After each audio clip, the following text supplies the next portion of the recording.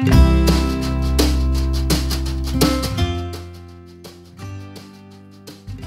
لي انت حريفي في ال préfa؟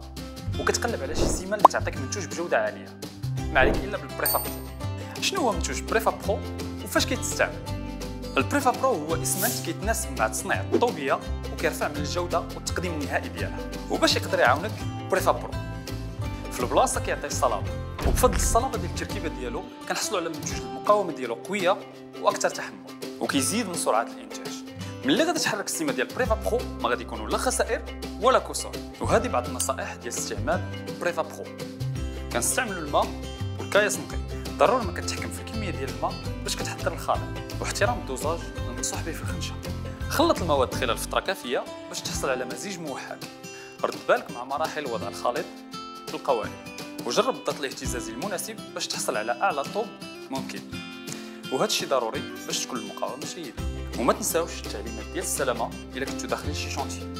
وهذه بعض النصائح لتخزين Préfa Pro خاصك تخزن المنتوج في بلاصة تكون مهويه وبعيدة عن الرطوبة والتغيرات ديال درجة الحرارة. وحاول ما تخزنش أكثر من 10 ديال الأكياس متراكمة. وخاصها تكون معزولة على الأرض ومفصولة على الحيط. وكمل لي الكمال ديالك مع راسك مع الصحه ديال البريفابريكاسيون